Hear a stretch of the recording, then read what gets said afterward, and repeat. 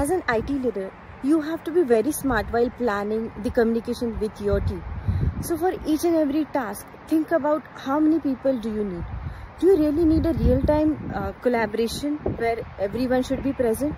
Or you just need their inputs on certain issue which can be very easily done in an asynchronous manner. Be very judicious while you plan your collaboration time with your team.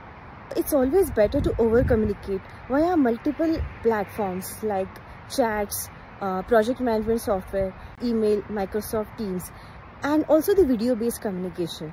Now, recently, Atlassian has acquired a company called Loom, which has this video sharing feature. This gives a personal touch to anything that you want to communicate with your team.